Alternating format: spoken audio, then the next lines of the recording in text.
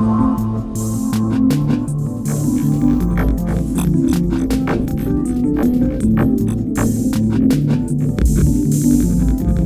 到节目的现场，教育广播电台拍绿游乐园节目，我是袁永新。今天很开心，行动会客室来的是莫凡星。Hello，Hello，永新老师你好，你好，听众朋友们、观众朋友们，大家好，我是莫凡星。其实我们虽然第一次这样坐下来正式的聊，但你已经出了很多作品了。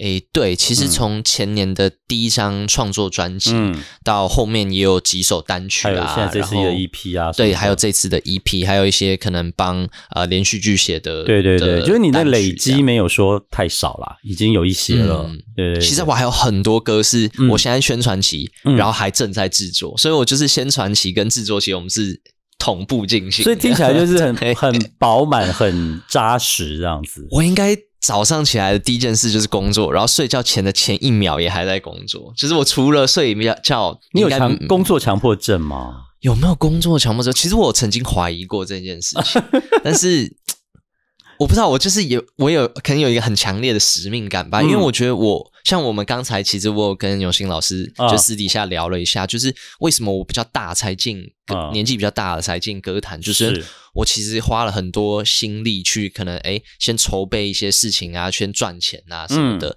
等等，所以我会觉得说，对我来说这些机会都是很难。其实你在建立一个一个 foundation，对，就是你的基础的工作这样子，真的是对。可是这过程会是很顺风顺水的吗？还是说其实也跌跌撞撞？还是说你一直卡关啊什么的？我觉得其实。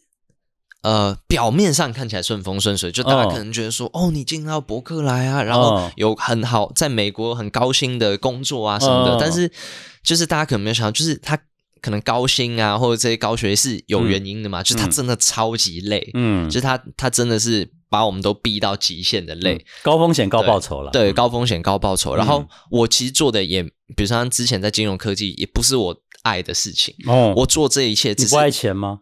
没有，我心中我 哎，永清老师讲这个重讲到重点，我对于钱的那个执着是在于，我希望有一天，因为我从十三岁写第一首歌，嗯，开始我就想进歌坛哦，所以我就一直想说，我知道我现在赚钱赚的不开心，但是这些钱有一天是要拿来完成我的梦想。我都鼓励我在学校的学生说，你们一定不要觉得你这辈子只要会做音乐这一件事，好好觉得做的很不错就足够。嗯。我觉得你们最好还要斜杠懂得一些投资，对，买些 ETF 或什么的。你投资将来这些主动关心下的被动收入，搞不好就帮你付掉你的房租、水电费，让你可以更专注的去做音乐的工作。是对他们好像有点懂又不太懂，他们觉得说我们就是专心创作就好了，我干嘛去想什么赚钱、投资这种事情？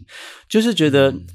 如果他们现在的岁数就开始做这个事的话，他有时间复利，可以帮他累积很多的财富。可是他有想通就有想通，他没想通，他就会一直过不去这个部分。将来他就会觉得说：“天哪，为什么一首歌的点击流量版税一年下来怎么这么少？超级少哦！” 我先跟大家说，那个我在华纳也有就是上架那个百万的 MV 嘛，就是百万点击的 MV，然后一年下来结算的税，我这个我可以讲吗？可以啊，我不知道可不可以讲，但是。你们绝对想象不到，一千块都不到。我，哎，我那我比你多，一千块，一千块都不到。哎，我中间还转了好几手哦，最后才到我手上，很少很少，还要扣税呢。对对对，就是因为我刚收到我去年的版税五千一啊。可是老师这么多创作没有啦，最主要是因为有写给费玉清，他那个点击量的歌还蛮固定的。可是还是还是因为那个是哎。不过跟时间应该年代没有关系，没有关系。像有一年一六年，因为中国好声音有个参赛选手选的那一首我写的歌，我那年突然多了三万多块钱。可是点击量冲高这么多，冲这么多出来哦，很可怕吧？哦，那那真的还蛮蛮可，但我不能期望每年都有人选他。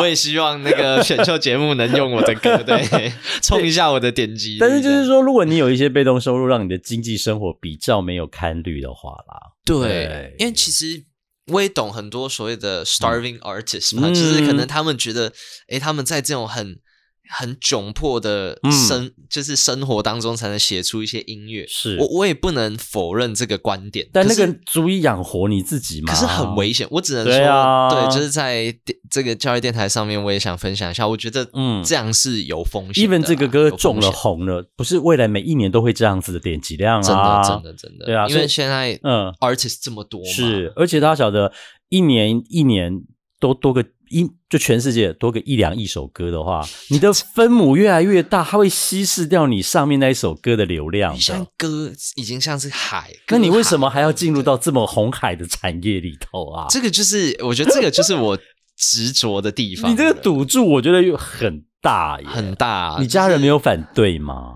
其实我家人从我一开始国中跟他们讲这个概念的时候，他们就开始觉得哦，不要吧，为什么会这样想？叫你先去金融业投资一点的，也不是啊，就是他们可能会希望我说，哎，去当个工程师啊，就是比较哦稳定的生活稳活。扎稳打。，对对，那、哦呃，我也我我觉得我比较贼一点的地方是，嗯我也没有反对他们，就是嗯我也一路好好念书，然后你看起来确实念工程啊，你看起来不太有伤害跟叛逆性啊。对我我我从就是大家可能因为很多就是这些艺术家，我的这些歌手朋友们都说，嗯哇，他们年轻的时候都跟他们爸妈处的很不好啊，他们有什么嗯所谓的反骨啊？我哦说我也有反骨，但我的反骨藏的很漂亮。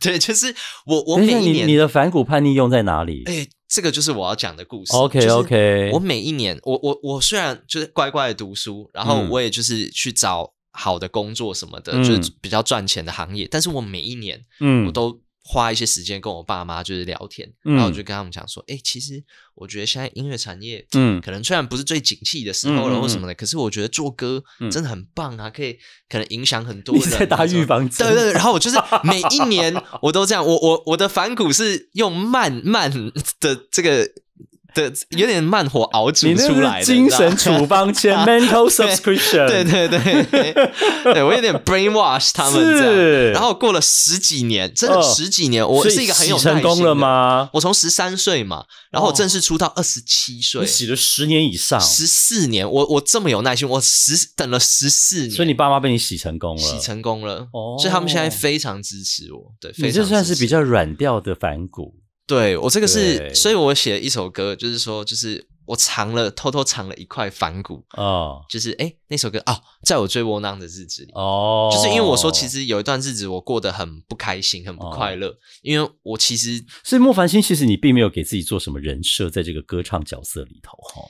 在歌唱角色里头，其实原本哎，这个跟老师分享一下，哦，我原本的人设是比较偏，因为他们说理工男嘛，所以就可能是宅男、啊，宅男然后宅宅的这样，然后可能不太会跟人家沟通，上节目都不太能讲话，哦情歌宅男嘛？对，或什么的。可是哦后来他们发现这个路好像不太对，嗯因为我明明就超爱跟别人讲话，哦然后虽然我念理工。是是也没有宅啊。我玩我我最不喜欢就是待在家，我超喜欢就出去打球，然后爬山看海，哦然后跟人聊天。就是我还像像唱完校园唱，我还跟学生一起去逛夜市什么的。我觉得可以这样子啊？啊，可以这样，我就是没有在 care，因为我有时候也会被经纪公司骂，他们就说：“哎、哦你也太没有艺人形象。”我说：“对我来说，做音乐就是要跟大家更有结合感，所以那个人我不会故意创造那个人设在一开始没多久后就坏掉。，对对，我已经崩坏了，所以我已经没有人设，已经坏掉了。你对知道吗？因为你来之前我在看那个韩国一个练习生的谈话节目，对对对，然后我觉得主持人也很贼，他说每个人讲讲自己叛逆期的时候做些什么事情。哦，他问这个问题，然后有一个就是看起来怪怪的，就是说、嗯没有，他其实并没有特别什么叛逆的行为这样子。你知道主持人下一句问他什么吗？你什么时候看过 A 片的？他就突然笑而不答，然后全场都知道他很早就看过。哦这个主持人 Q 也 Q 的 Q 的很快对对对对对，这个这个真的蛮贼的。就是你你再告诉我你没有叛逆期，你试试看。可是我觉得看 A 片跟叛逆期好像也不一定相关不、是、啊，因为表示你在青少年阶段、未成年阶段，你就还是会去看一些父母不让你看的事啊，物对啦，嘛。对啦，对啦，对呀对啦对啦那一一我觉得还其实我我觉得如果我有小孩，我觉得会蛮正常。没有他当假装我不知道他就们在看当场要戳破你那个意思。好啦，我们第一首主持人好不给面子。第一首歌来听哪一首歌？我们来听，因为我很少在电台能分享这首歌，所以我想说分享好一下。啊，我想分享这首《偶尔帅一下》。嗯嗯嗯，为什么很少分享啊？呃，因为你本来就帅帅的啊，可是这首也第一点它不是主打歌吧，哦，第二点可能。嗯，不是主打歌，然后然后第二点可能就是它就是在我的歌路中或歌单中，它是一个比较跳痛的一首歌，所以我也很少介绍到它。但是。它之所以跳痛是有原因的，为什么？因为第一点我其实比较是 acoustic bass 的人，写比较多 folk 啊、country 啊，甚至比较类民所以，unplug，对，比较 unplugged 的东西。那那个这首歌是我出了就是这么多歌之后，嗯，第一首比较嘻哈 rap 的东西。那为什么我要？你有这个性格哦，我其实本来没有，我也是进来这个业界之后，那是很后面呢。